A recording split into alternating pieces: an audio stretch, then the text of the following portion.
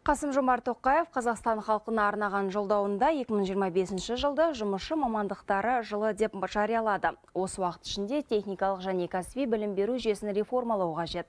Жалпы жұмысшы мамандықтарын дәріптеу арқылы қоғамда еңбекқор және нағыз маман болу идеясын насихаттаймыз деді президент.